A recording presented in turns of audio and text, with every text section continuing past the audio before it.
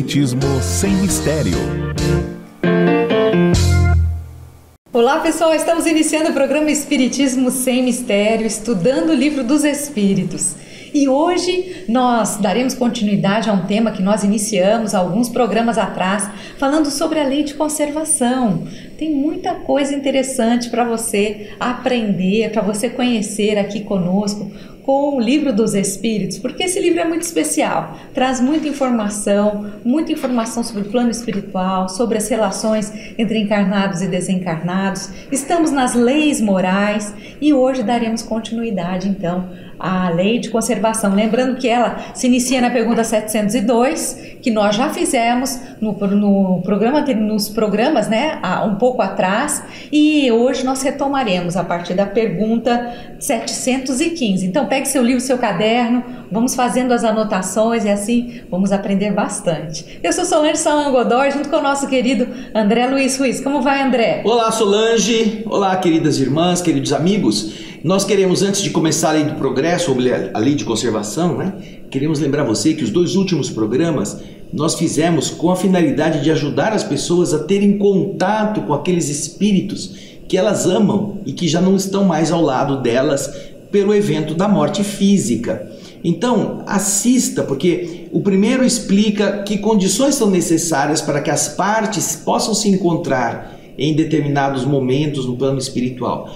E o segundo programa fala sobre o passo a passo que nós devemos adotar se quisermos ter sonhos lúcidos com essas pessoas, com esses espíritos queridos. Não apenas você ficar esperando que eles venham te visitar, não apenas ficar buscando um médium que possa te trazer uma, uma informação e às vezes você não acreditar com facilidade na informação que recebeu de um intermediário, mas você mesmo estar em contato com esse ente querido. Então, você deve procurar nos nossos programas anteriores, os dois anteriores, esta temática e, se puder, fale para as pessoas, passe isso para mais gente, porque tem muitas pessoas sofrendo de saudade, de angústia, sem saber que eles poderão criar condições positivas para estabelecer esse contato com essas almas que eles têm saudade, tá bom? Então agora nós vamos retomar do ponto em que havíamos parado, porque nós interrompemos a sequência do livro dos Espíritos para tratarmos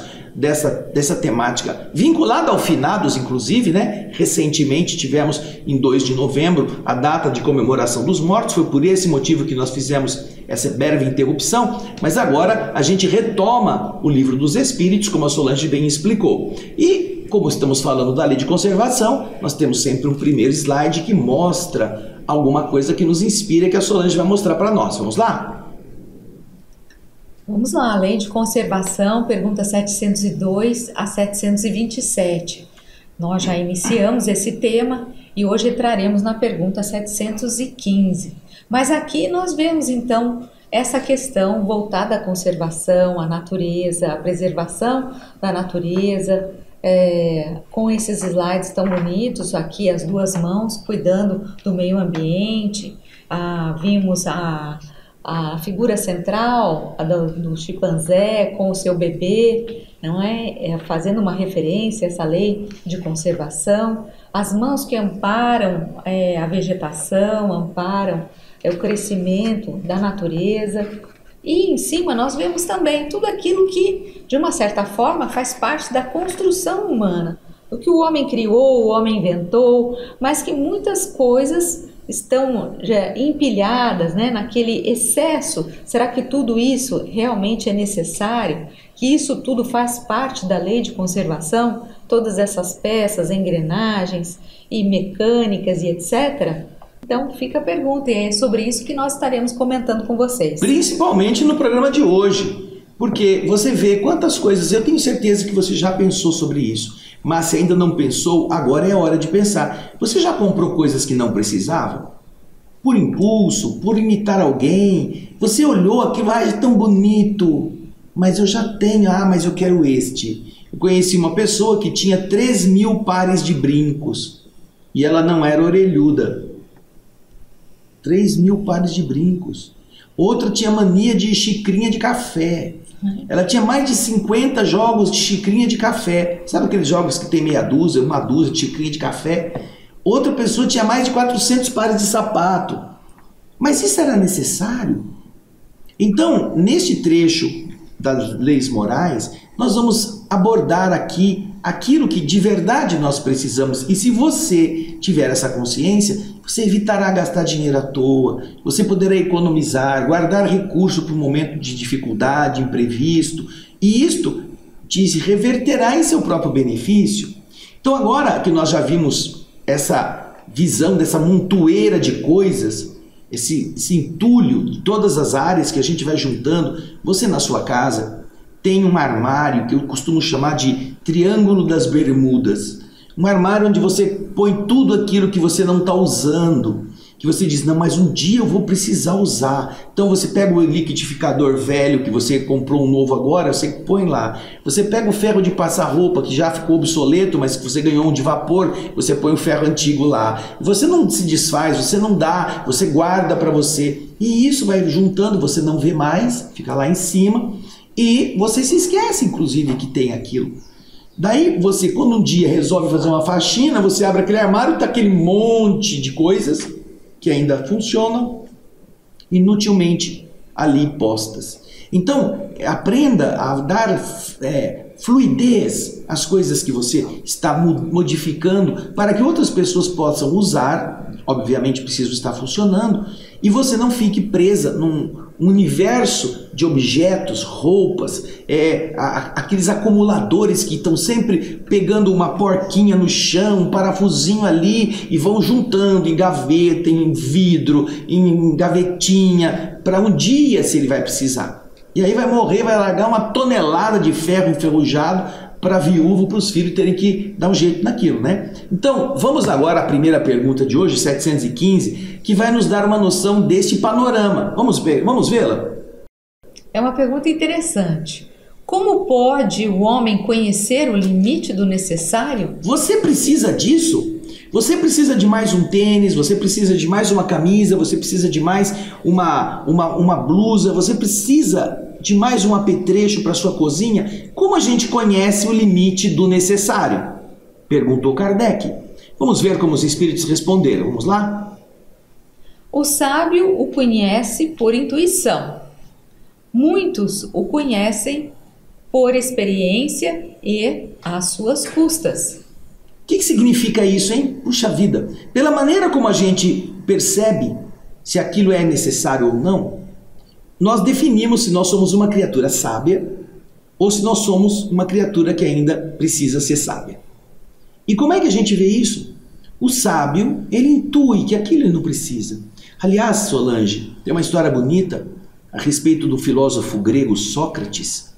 O filósofo grego Sócrates, ele ensinava caminhando com seus alunos. E periodicamente, se não todo dia, mas toda semana, ele ia a um mercado que existia na Atenas de antigamente, chamado de Ágora. Esse mercado é como um mercado comum, cheio de lojinha, bugiganga, o povo ficava vendendo de tudo. E então, certa vez, os alunos que conheciam Sócrates estavam andando ali e viram o sábio parando nas lojinhas, olhando, vendo o povo comprar, vendo as ofertas. E aí, quando foram encontrar-se com o mestre, perguntaram: Mas, mestre, o senhor fala tanto das, da, da, nossa libertação do mundo material, mas a gente viu o senhor passeando no mercado, o senhor foi. O que o senhor foi fazer lá? Aí o Sócrates sorriu e lhe disse: Sabe, quando eu tenho um tempo, eu gosto muito de ir ao mercado. Mas está faltando alguma coisa para o senhor? Não, não. Eu vou lá porque eu, lá eu vejo como eu sou feliz por não precisar de tudo aquilo que está lá para o povo comprar. É uma satisfação para mim, para o meu espírito. Eu posso viver sem tudo aquilo. Então, meu passeio lá não é para eu cobiçar as coisas que eu não tenho, é para dizer, puxa vida, como eu já tenho o suficiente, sem precisar me entregar essas ilusões. Esse é o sábio, certo? Agora, quando você não é sábio, o que, que você cria para você? Você cria sofrimento. Você cria as suas custas, as decepções, a perda, você fica passando dificuldade. Quantos de nós não estamos devendo porque gastamos onde não precisávamos e quando precisamos gastar, gastar não tínhamos o dinheiro, precisamos fazer dívida. Não é mesmo? Então, o sábio conhece estas coisas por intuição, por ser uma coisa que, que está óbvia. Agora, o outro, os outros, como ele disse aqui, ele conhece pela experiência, que é geralmente dolorosa, e as suas custas. Ele vai sofrer por ter feito a bobagem. Fala, uhum. Solange. É isso mesmo. Um bom exemplo de Sócrates. E geralmente os sábios, né, realmente têm, eles dão esse exemplo de desapego para gente. Ah, mas a pergunta continua. Vamos seguir, que temos aí muitas coisas ainda para aprender. Deixa eu colocar para vocês o próximo slide. A natureza não traçou o limite das nossas necessidades em nossa organização? O que significa essa pergunta? Vamos ver. Você tem quantos pés? Dois. Você tem quantos braços? Dois. Você tem quantos dedos? Dez no bra na mão e dez nos pés. São limites, né? Você tem quantos estômagos? Então, se a natureza põe limites para nós, Kardec quer saber se isso não deveria ser obedecido. Ou seja, modernamente perguntaríamos: por que, que uma pessoa que tem dois pés precisa de 400 pares de sapato. Uhum. Eu digo 400 porque uma pessoa que nós conhecemos, muito querida, que tinha uma loja de sapato e ela tinha mais de 400 sapatos. Para dois pés. Agora, você pode ter cinco pares. Um para trabalhar, outro para fazer esporte, outro para ir à praia, outro para ir ao clube, outro para uma, rede so uma vida social. Não há problema. Mas 400 é muito exagerado, não é mesmo? Então, essa capacidade de a gente olhar para nós mesmos e ver que você está exagerando um pouco, cada um de nós tem. Se você observasse, por exemplo, eu, eu conheço pessoas que, não contentes de enfiar um anel em cada dedo e às vezes dois, aí enfia anel no dedo do pé. É, e anda com os, anelzinhos no dedo do pé. Para quê? você é moda, mas você precisa disso? Então, se nós temos um fator limitante que a própria natureza nos dá, Kardec quer saber, olha, isso não é uma forma de nos fazer pensar, mesmo pela óbvia constatação, que isso está sendo exagerado? Quantidade de roupa que a gente tem guardada. Tem pessoas, eu já vi reportagens a esse respeito, inclusive na cidade de São Paulo, que tem pessoas que elas não têm um quarto com guarda-roupa. Elas têm um apartamento que elas transformaram em guarda-roupa, todos os cômodos. Quando ela vai para uma festa, ela vai lá, no, ela para o carro na garagem, sobe no andar, entra no apartamento que é o guarda-roupa dela. Então tem a roupa de sair, tem a roupa de, de lazer, tem o sapato, tem, nossa, tem de tudo. Cada cômodo é para uma coisa, mas para um corpo só. Uhum. Não é? Para um corpo só. Para que tanta coisa? Então, dentro dessa visão, Kardec nos está induzindo a pensar. Olhe-se e veja se você precisa disso tudo. Às vezes nós gastamos sem precisar porque o outro gastou. Às vezes nós queremos fazer coisas que os outros fizeram e a gente tem inveja e a gente vai fazer e aí, ó, se atola até aqui, só para parecer que você é igual. Isso em família é um problema, né? Porque em família os irmãos se disputam, as cunhadas se disputam. E aí nenhuma quer ficar para trás, geralmente, tá? Tem, tem famílias que não tem isso. Mas é algo que de verdade pode fazer uma disputa emocional chegar ao ponto da pessoa fazer bobagens, gastar sem precisar. Eu conheço casos de maridos que se endividaram muito porque a, a esposa queria ter a mesma coisa que a cunhada dela comprou, não queria ficar atrás. E não adiantava o cara falar assim, mas bem, nós não temos dinheiro. Não, mas você tem que dar um jeito. Você precisa fazer, não vou, não vou ficar sem. Imagina ela olhar para mim com aquele olharzinho superior dela, né? Não. Então o cara frouxo e a pessoa desa, desajuizada da sua, da sua companheira, ou às vezes é o inverso, a esposa é ajuizada, o marido é, é assim, alucinado. Então, essas coisas precisam ser medidas, precisam ser comparadas. E essa é a pergunta que nos vai permitir isso daí. E tem so... situações até piores, às vezes a pessoa entra em depressão. justamente porque ela não consegue é, se equiparar ou ter aquilo que ela gostaria. É pior ainda você entrar em depressão. E olha, a sociedade é tão cruel, esses que manejam estas coisas, eles são tão astutos que eles inventaram um negócio de plástico que você vai comprar sem ter dinheiro para você fazer uma dívida e levar na hora o objeto que você sonha, e aí você vai pagar a prestação só depois de 45 dias. Porque se você tinha algum dinheiro, você já gastou. Então, para ele é importante que você faça o seu sonho ser verdade, porque a televisão joga tudo na sua cara para você comprar, você comprar, você ter, para você acha que você é poderoso porque tem um, um cartão de crédito, aí você vai satisfaz o ego e depois 45 dias depois chega a fatura para você pagar e você, você se lembra que tinha uhum. comprado. Imagina, comprou uma televisão de 80 polegadas para assistir o jogo como se estivesse no estádio, dentro da sua casinhola. Teve que derrubar uma parede para poder entrar a televisão porque não cabia, não passava. Mas eu tenho a televisão. Aí, você imagina, você passa 45 dias assistindo essa televisão, você começa até a ficar ofuscado porque a sua casa, a sua sala é pequena, aquela claridade, né? Você já esqueceu que você tem dívida, você já se acostumou com a televisão. Aí 45 de, dias depois chega a conta para você pagar a primeira parcela. Você fala, meu Deus do céu. Sim, você tem mais 10 pela frente. E você ainda tem tudo isso para pagar. Você já, já perdeu o gosto por pela, pela, já chamou a vizinhança para ficar com inveja de você, já a cunhada já veio, quase morreu, caiu de costa porque você tem uma maior que a dela. Agora você já perdeu a graça. Você tem que agora ficar com a dívida. Mas para assistir uma televisão, imagina isso. Então, o arrependimento mata, né? Mata. E a pessoa às vezes não tem como honrar porque se você não pagar em 45 dias, eles são tão bonzinhos, tão bonzinhos, tão bonzinhos, que você paga a taxa mínima. Ai, que é, graças a Deus tem gente boa nesse mundo. Você paga a taxa mínima e eles jogam aquilo no financiamento. Você vai começar a pagar juro daquilo que ficou faltando. É um juro que come você pela perna, leva a televisão, leva a sua casa embora. Porque eles são muito bonzinhos. Então, puxa vida, né? É bom a gente prestar atenção nessa pergunta e nessa Isso. resposta. Vamos lá. Vou passar a pergunta de novo, olha só. A natureza não traçou o limite das nossas necessidades em nossa organização? Vamos ver a faz resposta. essa pergunta. É. Agora, olha que interessante que os espíritos respondem. Sim, mas o homem é insaciável.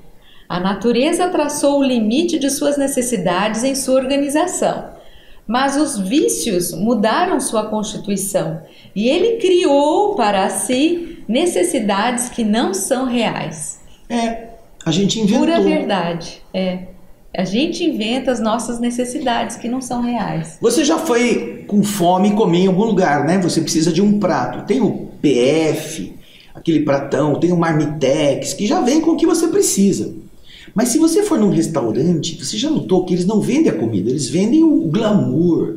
Então é a entrada, é o maître, é o garçom que leva você para a mesa, é a mesa que tem o, o, o couvert, tem o, o pãozinho com patê, aí vem, vem o, cardápio, aí você escolhe o que bebe, aí você quer o, o a primeiro prato ou a entrada, chama entrada, imagina, você já está com fome, já comeu o couvert, aí vem a entrada, você manja a entrada, a entrada vai para sua barriga, você já se sente, ah, puxa, já o desespero da fome já não está mais, mas ainda não chegou nem no primeiro prato. Aí vem o primeiro prato, você escolhe aqueles pratos bonitos, aquelas coisas bem feitas, as fotografias dos pratos. Parece que você comeu o cardápio, você já se satisfaz, tão bonito que é. Mas aí o prato tá lá, depois que você comeu bem, bem comido já, foi o couvert, foi a entrada, primeiro prato, Aí você vem aí o garçom, isso já passou, né? Uma hora mais ou menos. Agora sobremesa, sobre, você já está abrindo o cinto porque a barriga já não cabe. O, negócio já está lá estufando você por dentro. E aí vem a sobremesa. Olha o nome, né? Sobremesa. Ah, vem aqui para mim na, na, geral. Você já notou que a sobremesa é toda pastosa, sempre pastosa? É sempre, você nunca vai, vai pegar de sobremesa é farofa. Você nunca vai pegar sobremesa rapadura.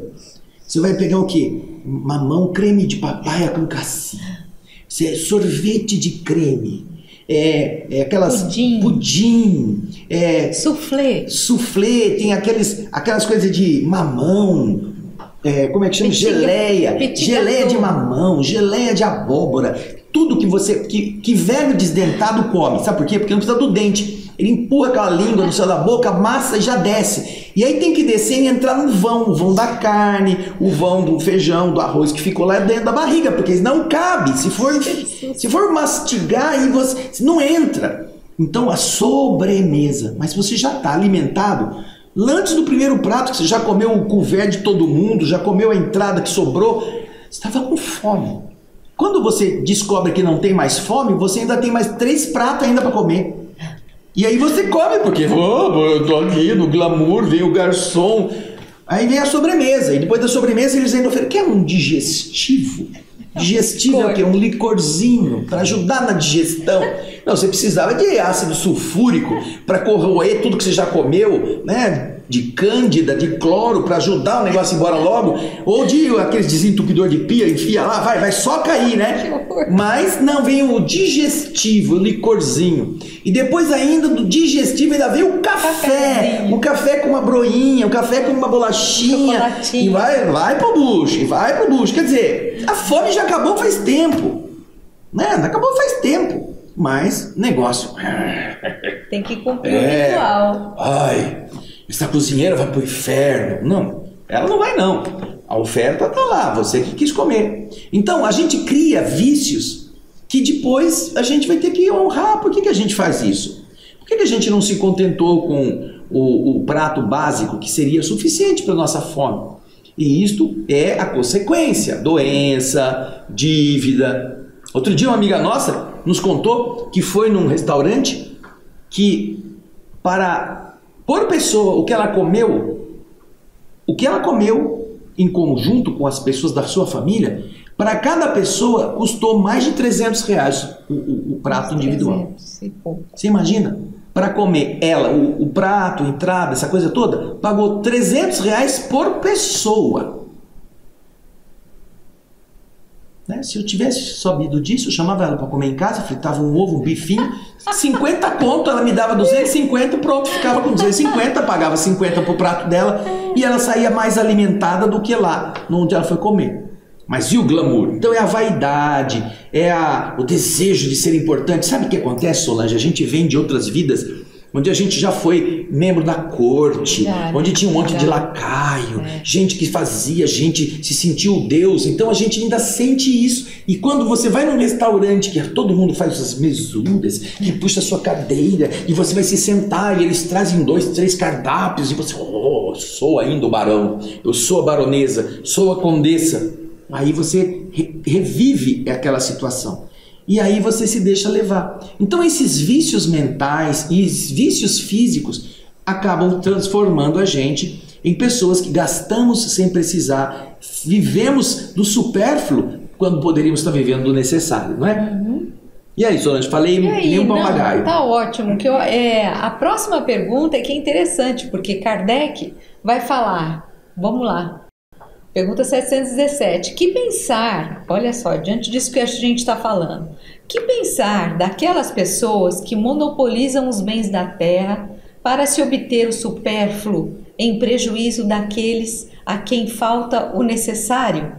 Que exemplo você pode dar disso, Solange? Ah, as pessoas que abusam, que elas adquirem, adquirem. Tem tanta gente que às vezes tem necessidades, tem, não tem o básico. Nós, nós vemos em pessoas que não têm o mínimo é, vivem uma vida muito dura. E em contrapartida, nós temos pessoas, como você acabou de citar, que pagam num almoço uns 300 reais, 300 e poucos reais por pessoa. Dizer, então, é, Kardec pergunta o que, que a gente pode pensar, o que, que nós devemos pensar dessas pessoas que elas, é, elas usurpam os bens da terra, monopolizam os bens da terra, ou seja, elas querem mais, elas adquirem, é tudo ao excesso, tudo em demasiado, é, em prejuízo daqueles que não têm nada, ou seja, não deixam nada para os demais. É, eu acho que você já deve ter visto, você que está em casa assistindo, uma situação desse tipo. Os caras param um caminhão de cebola no- na beira da estrada e, e viram o caminhão no chão, no asfalto. Ou eles pegam latões de leite porque o preço está baixo E eles jogam o leite, até em vias públicas, nas, nas bocas de lobo, para jogar e acabar com o produto. Por quê? Porque existe a lei da oferta e da procura que faz o, o preço subir. Então, quando você percebe que há pessoas que retêm a produção, porque o preço não está no patamar que ela deseja, ela está fazendo o que? Ela está retendo os bens da vida. Ela não está fazendo chegar um preço justo ou barato, porque muitas vezes o, o, o, próprio, o próprio plantador sofre prejuízos por falta de política governamental, por problemas da atmosfera, e ele sofre com isso. Ele planta por 20 e vai colher por 12. É um prejuízo. Então, mas há pessoas que elas têm lucro e elas ficam retendo para que os preços exorbitem e elas vendam na alta. E aí ganhem muito. Então, o que pensar dessas pessoas que ao invés de serem justas, nós vimos agora acontecer um evento parecido com o do Rio Grande do Sul lá na Espanha. E eu vi uma reportagem em que com o excesso de chuva em Valência, com a inundação, Solange, das ruas, do lodo, estava faltando água potável para as pessoas beberem. E algumas pessoas que eram donas de armazéns onde existia água que não foi atingida pela enchente, estavam vendendo, vendendo a água superfaturada uhum. para as pessoas terem que pagar cinco, uhum. seis vezes mais o preço por garrafinha. É. Ou seja, ela está se aproveitando da desgraça do outro para ganhar dinheiro por causa dessa desgraça. Os outros vão ter que comprar água. Uhum. Mas essa pessoa tem responsabilidade, é o que Kardec quer saber. O que pensar dessas pessoas que, tendo condições, elas usufruem, elas usurpam os bens da terra para terem vantagens deixando outros na miséria. Já pensou se aquele que jogou uma tonelada de cebola, se ele, dis, se ele dis, é, distribuísse essa cebola para as pessoas que estão é, precisando, para instituições de caridade, para lugares, lugares em que as coisas é, não funcionassem melhor com aquele item, que é o arroz ou é o feijão, gêneros de primeira necessidade, ao invés de jogar fora para aumentar o preço, estivessem distribuindo isso, compartilhando, compartilhando né? que coisa linda, não é mesmo? Mas vamos ver o que, que os espíritos vamos respondem. Lá. Vamos lá? Olha só. Eles desconhecem a lei de Deus e responderão pelas privações que terão feito experimentar. Já imaginou isso? Você é responsável pela fome, pela fome que você produziu só para ter lucro? Já pensou como isso deve pesar na consciência daquele indivíduo que, podendo ter uma, um, vamos dizer, um, uma outra maneira de se encarar no futuro como um benfeitor, a lei do universo olhar para ele e falar assim: você ficou no prejuízo, mas você salvou vidas. Essas vidas são filhas de Deus. Você tem um crédito com a divindade porque você não foi egoísta. Não. Você quis ganhar muito e muitos morreram, muitos passaram fome. Muitos ficaram doentes porque você quis enfiar o dinheiro nas suas contas, nos seus luxos. Imagina isso, que triste. Por isso que nós acabamos vendo reencarnação de outras desses espíritos, muitas vezes em outras vidas, é, numa condição de sofrimento, de, de penúria, de falta de, de condições, justamente porque essas pessoas em outras vidas é, usufruíram, né, usurparam, monopolizaram os bens da terra e não ajudaram ninguém. Então, para que elas deem valor a isso. Agora nós temos depois dessa resposta um comentário de Kardec. Allan Kardec faz um comentário muitas vezes às respostas dos espíritos. E no seu livro se você tem o livro dos Espíritos, você perceberá esse comentário porque ele vem escrito com um tipo de letra diferente, ou com o itálico, aquela letra deitadinha, ou um tipo menorzinho, porque é comentário de Kardec, não é a resposta que os espíritos deram. É Kardec que está analisando está meditando sobre isso. Então, nós vamos ler o comentário que Kardec faz. Vamos lá.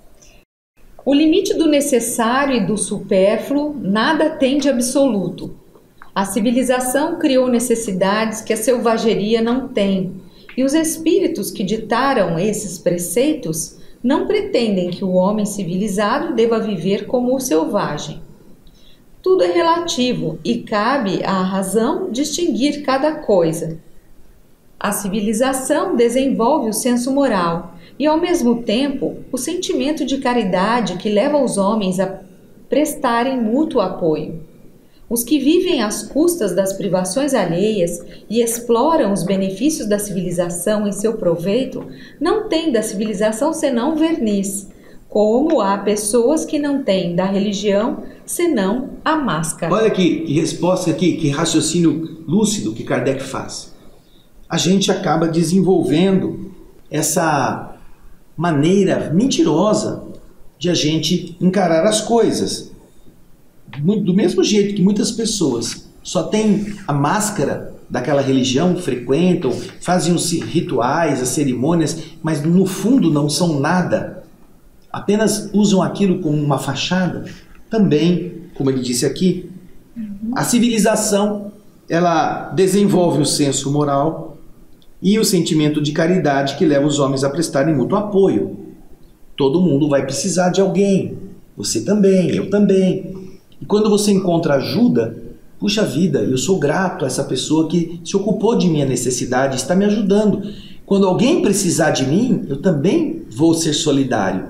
Porém, os que vivem às custas das privações alheias, aqueles que se locupletam com o que os outros estão precisando e não são solidários, eles são frios, são calculistas, eles estão pensando só em quanto vão ganhar. Muitas vezes eles criam problemas para terem lucros. Infelizmente é. Me diz uma coisa, com todo respeito a, a aquilo que possam pensar, quando foi, quando foi a última vez que você ouviu dizer que um determinado laboratório produziu um remédio que curasse uma doença? Que curasse. Quantos remédios todos os dias você toma e você não está curado, mas você tem que continuar tomando? Você já notou isso? Você lembra que antigamente havia mertiolate, Vic Vaporub, que eram remédios da, da cozinha da mãe, que qualquer coisa que acontecia passava o Vic Vaporub para tosse, a criança melhorava. Punha lá o mertiolate, o mertiolate ardia, mas fazia a, a, a cicatrização mais acelerada. E depois o que, que eles fizeram? Botaram água em todos esses negócios, ficou fraco, para não, não, porque era muito barato. Muito barato. E eles inventam sempre um negócio naquilo que funciona para não funcionar ou para tirar do mercado. Uma outra coisa que era muito fácil de você encontrar e eu sempre utilizei quando criança era um negocinho chamado sulfa, que tinha o um nome comercial de anaceptil. É um pozinho branquinho. Você corta o pé, corta a mão, criança adora né, arrancar o tampão do dedão, né? E aí o que acontece? Você joga lá a sulfa, depois de higienizar, e aquilo ajuda o processo de cicatrização, combate os micro-organismos e é rápido. Guarda bastante poder. Aí começaram, não, porque isso daí precisa de receita médica. Nunca ninguém morreu da sulfa que pôs no machucado, né? Mas como era eficiente, não servia. Então começaram a usar outros medicamentos que não são tão eficientes e começaram a exigir que as pessoas tivessem que ter uma recomendação médica para conseguir comprar o pozinho. E depois tiraram o pozinho do mercado. Você não encontra anaceptil para comprar. Eu sei porque eu procurei, eu tive que pesquisar nas farmácias da minha cidade até encontrei uma lá que ainda tinha um estoque velho me vendeu. Mas depois você não consegue encontrar. E por que que tiram? Porque geralmente é eficiente, é barato. Nós temos o Alípio querido, o Alípio Gonzalez, nosso irmão, que já esteve conosco muitas vezes e que agora está no plano espiritual. Ele tem um filho. O filho dele é auditor, auditor fiscal. Ele então foi contratado, ele mora na Venezuela, morava na Venezuela, ele foi contratado para fazer uma auditoria em um laboratório que produz medicamentos lá em Caracas. E ele foi contratado exatamente para analisar o preço, o custo, quanto custa, o quanto é vendido. E eles descobriram que ele descobriu e mostrou para o pai que havia um medicamento como esses comuns, esses, esses é, medicamentos que todo mundo compra, não, não, não, AS, esse, esse acetil, ácido acetil salicílico. Isso. Ah, tô com uma dorzinha de cabeça. De é, pega lá. Ele descobriu que o custo para fabricar uma pastilha daquelas, uma, era de um, um bolívar, era a moeda da época. custava para fabricar e ficar pronta para pôr na prateleira para vender, custava um bolívar. Mas o laboratório vendia para os representantes por 28 bolívares. 28 vezes o que custava.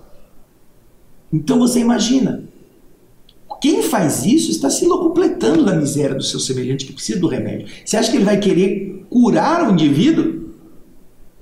Se vai dar ele 28 vezes quando compra uma pastilha, o custo, o custo que ela teve para produzir, nossa, você, você vai matar o, a galinha dos ovos de ouro. O doente é o grande negócio. Porque ele vai sempre precisar comprar remédio. Se alguém curar o doente, você mata o seu negócio. Você não é para quem fornecer. E olha, isso acontece em muitas áreas, não só na, na área da saúde. Isso acontece em vários outros caminhos, né? É, eu me lembrei agora. Antigamente você comprava um determinado objeto, às vezes esse objeto ficava na sua família por 10, 15, 20 anos. Hoje em dia você vai comprar o mesmo objeto, se ele durar dois anos é muito, está durando muito. Quer dizer, as coisas agora elas são feitas para para quebrar, durarem, para quebrar e para você ter que repor. Então isso também é uma é uma é uma criação constante de necessidades que você não, não vê o fim. Você comprou esse ano, ano que vem você tem que ter um novo, porque o seu já vai estar tá ou obsoleto, ou desgastado, ou velho, ou porque a tecnologia mudou, ele já não encaixa numa determinada tomada, ou ele já não faz um download do que precisava quando é um aparelho de celular, é, televisor e etc. Então nós vemos que nós estamos nessa roda de, cria, de criação de necessidades, em que você se você, você parece que precisa se manter atualizado, né? E passa essa coisa para você, que você tem que estar sempre né, adquirindo melhor, adquirindo mais novo, porque senão você vai ficar para trás. É o processo do consumismo. Uhum. O consumismo faz com que você ah, muitas coisas melhoraram, né? Muitas coisas são melhores. Hoje em dia, por exemplo, um automóvel ele garante muito mais a vida do do, do, motorista, dos passageiros, porque ele é todo feito de plástico. Se ele chocar, o carro encolhe, enruga e, e preserva a cápsula onde, está, onde estão os passageiros. Mas antigamente você tinha aqueles carros feitos de aço, aquelas coisas rígidas. Você, o cara batia no muro, você era jogado lá para frente, quebrava o para-brisa, cortava o pescoço, morria na hora. Então hoje é diferente, não havia, na época não havia cinto de segurança, não havia trava, não havia nada, era a aventura de andar, né? Então hoje um, houve um, um avanço. Porém, você sabe de uma coisa? Que quando eles vão lançar o um modelo novo de um carro, eles começam a fazer uma pesquisa de mercado para ver entre os consumidores, com aquele modelo que eles vão lançar, qual é o valor maior que o valor que eles aceitam pagar. Então, se eles põem um carro que custou 20 mil dólares para ser feito, se eles colocam lá 18 mil, que eles não vão pôr porque é menos, ninguém compra. Se eles põem lá 22 mil, também ninguém compra. Eles começam a ver que começa a ter interesse quando o carro custa 30 mil, mas ainda assim é pouco. Mas se eles puserem aquele carro a 50 mil dólares, ah, e o povo compra. É, olha que interessante. Por quê? Porque o cara vai comprar uma coisa achando que é cara e ele vai então andar com aquele carro carão. Então ele prefere comprar o carro caro do que se ele comprasse o mesmo carro pelo preço de custo, 20 mil dólares. Compra por 50.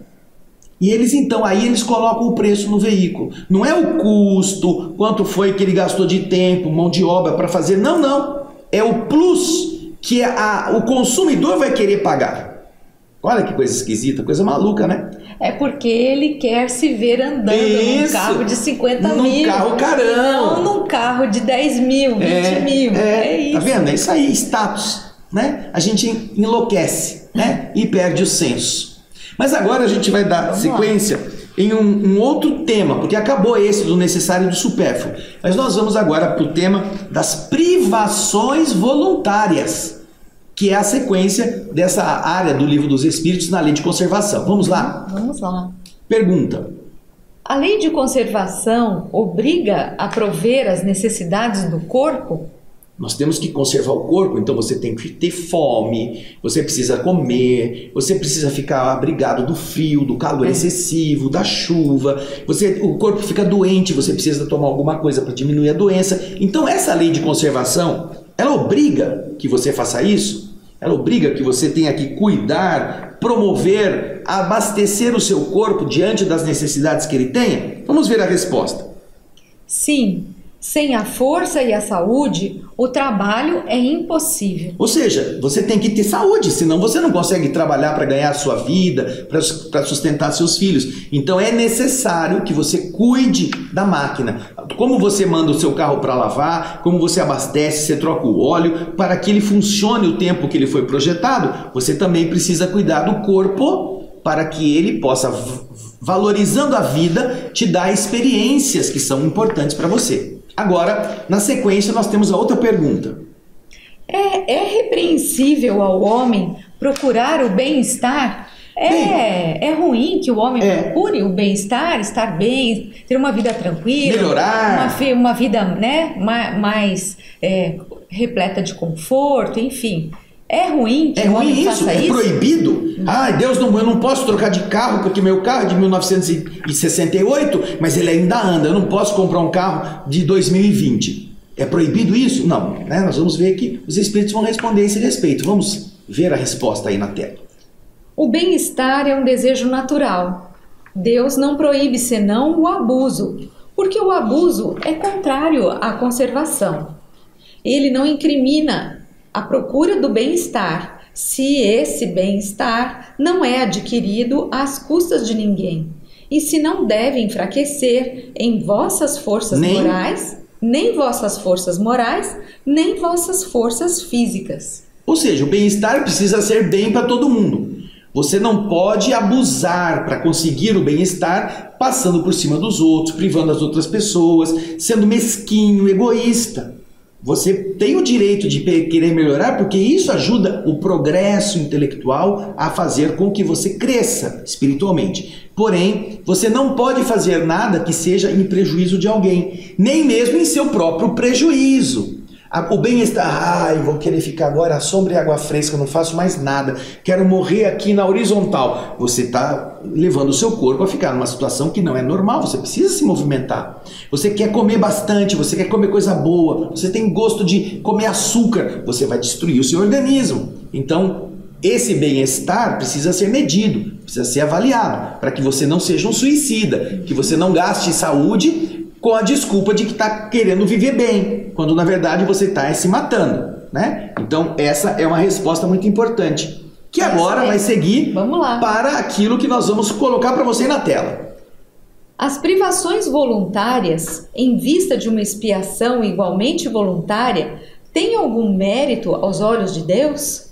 Ou seja, quando você se priva de alguma coisa voluntariamente porque você quer, ou uh, quando, quando você, você impõe a você algum tipo de castigo, algum tipo de, de, de necessidade que você venha, venha passar, é, isso tem algum mérito aos olhos de Deus? Vamos Bom, dar um exemplo. Eu vou, eu vou, é. É, vou dormir em coxa de, em, em cama de prego. de prego. Ai, porque eu quero sentir o prego, porque eu tenho que me lembrar que esse prego é a dificuldade da vida, eu não quero me facilitar. Você está passando por uma aprovação voluntária, mas por um tormento que você escolheu, você inventou, nada chegou a você por uma necessidade.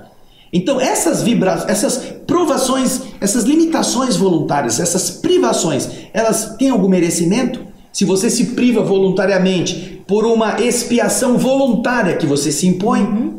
Você acha que isso tem alguma, alguma, algum valor aos olhos de Deus? Se é a você, pergunta dele. a hora que você pensa em alguma coisa errada, você cata o chicote lá e pá, pá. E se bate, se machuca. Será que isso é válido para é, Deus? né? É, então.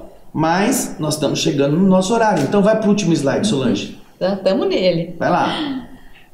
Resposta no próximo programa. programa. Aproveite e pesquise no Livro dos Espíritos e você se surpreenderá com o ensinamento dos Espíritos.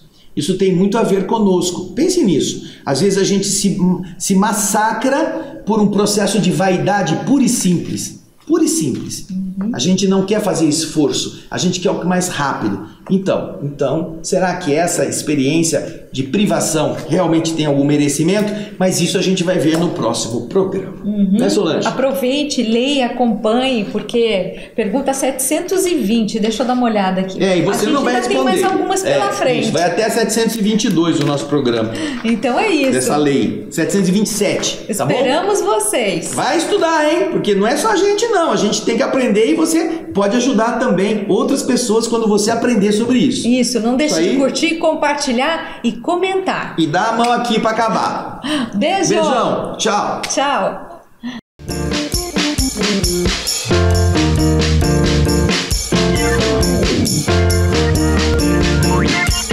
Espiritismo sem mistério.